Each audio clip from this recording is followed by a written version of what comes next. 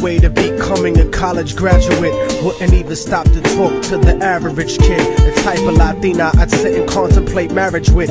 Fuck the horse and carriage shit, her love was never for hire. Disciplined, intellectual beauty's what I desire. Flyer than Salma Hayek or Jennifer Lopez. Everyone told me kicking it to her was hopeless. At first, I just thought she didn't mess with broke kids. The thug niggas always talking about how they smoke kids. But the rich sniff coke kids got no play.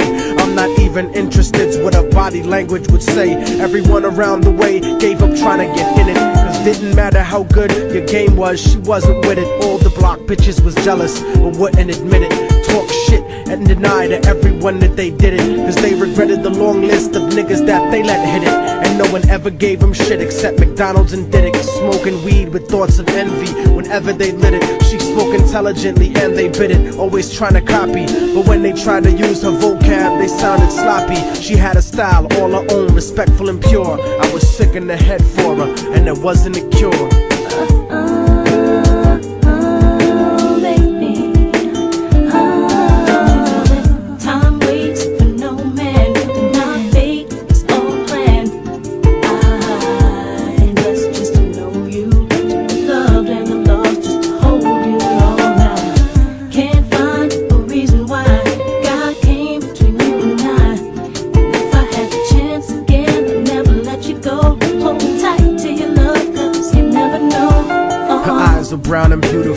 empty and sad. I used to talk to her occasionally, and she was glad that I wasn't just another nigga trying to get in it. So every now and then we'd stop and talk for a minute. I didn't have a gimmick, so the minutes turned to hours on her birthday. I gave her a poem with flowers, then I took her out to dinner after her cousin's baby shower. We talked about power to the people and such. We spent more time together, but it was never enough. I never tried to sneak a touch or even cop a feel. I was too interested in keeping it real, perfectly honest and complete. She would always call me cariño and never technique. Bought me a new book to read every two or three weeks, forever changing the expression of my thoughts when I speak. It was because of her I even deaded all of my freaks. She convinced me to stop hanging out on the streets, to stop robbing and stealing from people like you. Instead, I took her out to the Apollo and the Bronx Zoo, Museo del Barrio, and the Metropolitan too. Got to the point where I was either with her or my crew. So I decided one day to tell her my feelings was true. I couldn't live without her, so I told her face of my fears.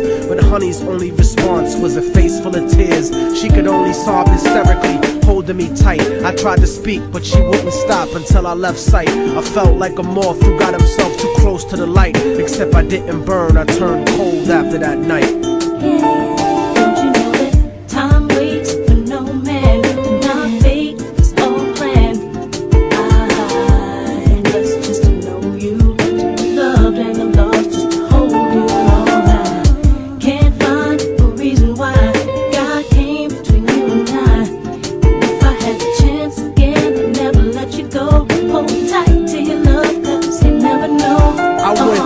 My life, college and my career. Ended up locked up like an animal for a year.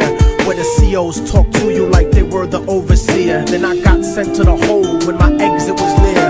At night in my cell, I'd close my eyes and I'd see her. Hold her close in my dreams, but when I woke, she disappeared. Just an empty cell until the state gave me parole. In the summer, came back intact and on track. But the fact of the matter is, I still felt cold. Even after my mother hugged me crying at home, my real niggas would catch me thinking out of my zone. Fucking lots of different women, but I still felt alone. Relatively well known around the New York underground. But I kept thinking of her and how we used to be down. The sound of her voice and the beautiful smell of her hair. Though gone physically, somehow it was still there. I had to do something because the shit was too much to bear.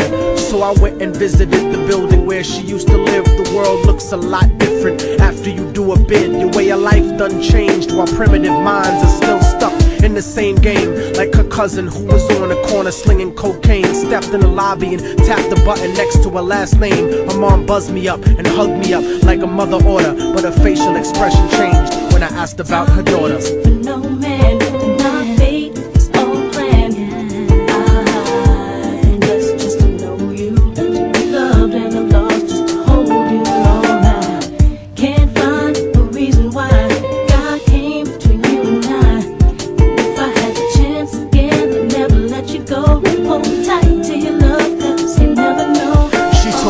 there was a note for me that was left behind, and she had left it there, waiting for such a long time. I was inclined to ask about it, but she brought it up first. I saw a tear swelling up in her eye, and then she cursed. She told me where the letter was, and I started thinking the worst. Reversed my position, stepped over, and opened the door. Sure enough, there was an envelope with my name on the floor. Nobody loves you more than me, cariño's what the letter said. By the time you get to read this, I'll probably be dead. But when you left in 97, a part of me went to heaven. I thank God at least I got to know what love really was. But it hurt me to see what true love really does. Cause even though we never made love, you were all that there was. It was because I loved you so much that I had to make you leave. Made the way I thought. You made me wanna believe. And then I slipped up and I let you get close to me. It was hard to not be openly when people spoke to me. This was not the way I thought my life was supposed to be. Baby, don't you see? I had a blood transfusion that left me with HIV. Hope didn't exist for me since late in 1993. I died a virgin. I wish I could have given myself to you. Cried in the hospital cause there was no one else but you. Promise that you'll meet me in paradise inevitably. No matter what, I'll keep your love forever with me. Happened for the rest of the day is still a blur, but I remember wishing that I was dead instead of her. She was buried on August 3rd. The story ends without a sequel, and now you know our technique. Don't fucking fall in love with people. Hold the person that you love closely if they're next to you.